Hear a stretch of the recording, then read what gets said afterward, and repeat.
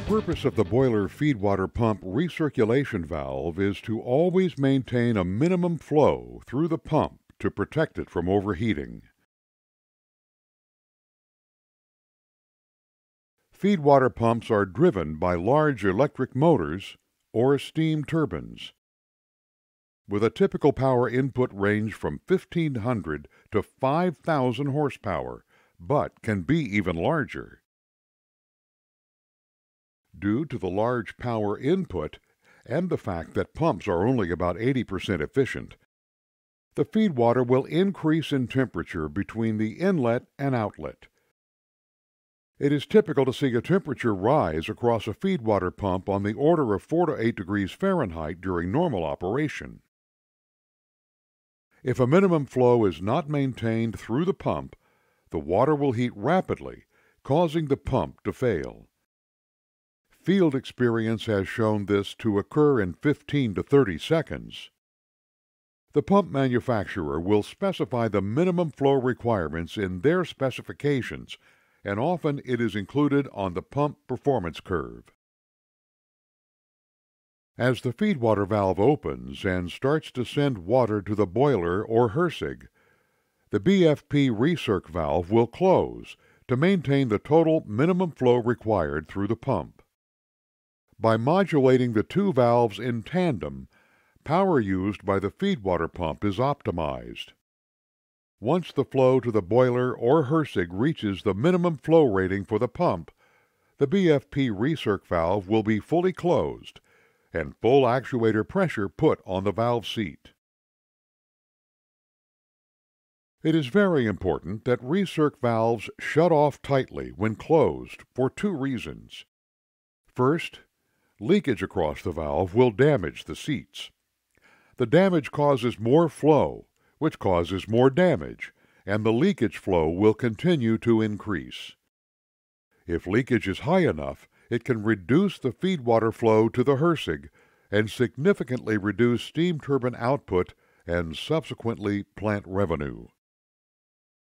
The valve most often used for feed pump recirculation is a Fisher HPT with Cavitrol 3 three-stage trim installed using an HTS-1 option OmniSeal and Class 5 shutoff with 800 pounds per lineal inch seat load.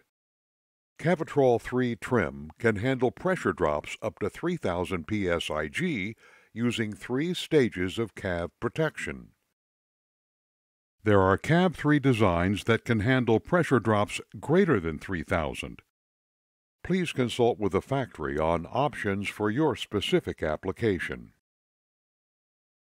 While Cavitrol 3 trim is an effective solution to prevent cavitation damage over time, because of clearance flow, the seat area on the plug can become damaged and will exhibit gear toothing.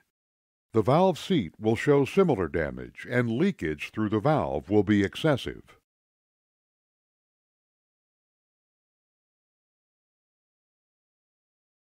An effective solution to provide extended life if gear toothing is an issue is to convert the plug and seat ring in a Cavitrol 3 trim to a protected inside seat design.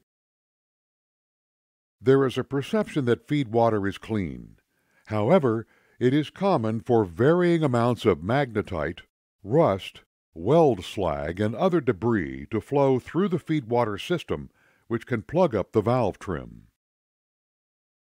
An effective upgrade to solve the plugging and gear toothing issues of Cavitrol 3 is to convert to Dirty Service Trim, DST. DST has the ability to handle particulate up to three quarters of an inch in diameter. All of the pressure reduction occurs below the seat, so there is little to no pressure drop across the seats. For boiler feedwater pump recirc applications greater than 3000 psig, the standard recommendation is to use a Fisher CAV 4. The CAV 4 can handle pressure drops up to 6000 psig as a standard. If your requirements are higher, please consult the factory as there may be options available. CAV 4 uses radial and axial flow to effectively dissipate high pressure drops, keeping the vena contracta pressure above the vapor pressure of the fluid, eliminating cavitation damage. Another option for new boiler feedwater pump recirculation installations is the NotchFlow DST. NotchFlow is very effective in dirty service high pressure drop applications. While traditional Fisher anti-cavitation designs are flow down and highly customizable, the NotchFlow DST is flow up and non-customizable, but has a very attractive price point.